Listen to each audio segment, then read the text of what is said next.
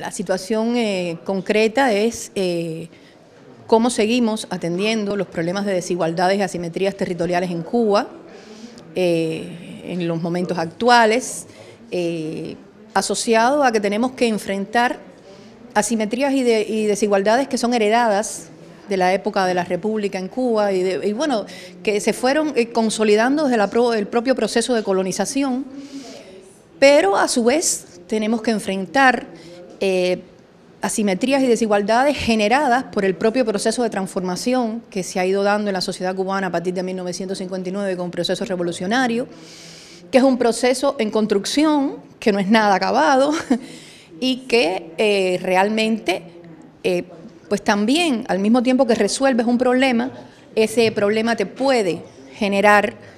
un impacto territorial determinado que se traduce en bueno, un nuevo foco de diferenciación digamos, el desarrollo de mm, las nuevas opciones de trabajo privado en Cuba son eh, parte de los nuevos elementos que surgen, que van dando diferenciaciones, porque no todas las actividades se desarrollan eh,